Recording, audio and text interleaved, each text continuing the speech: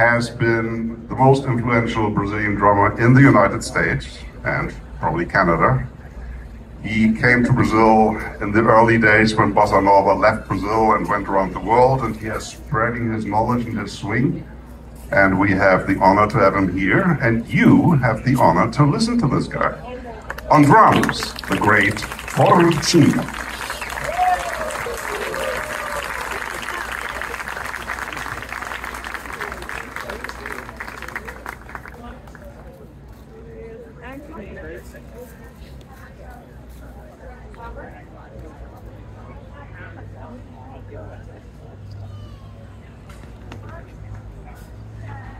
Yeah.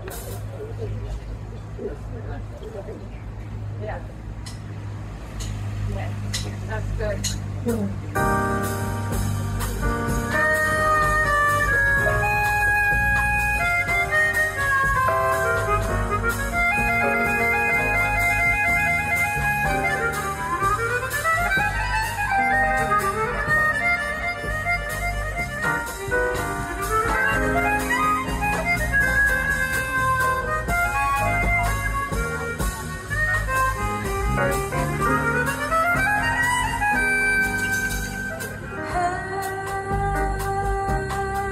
Happiness. It floods my soul with light each time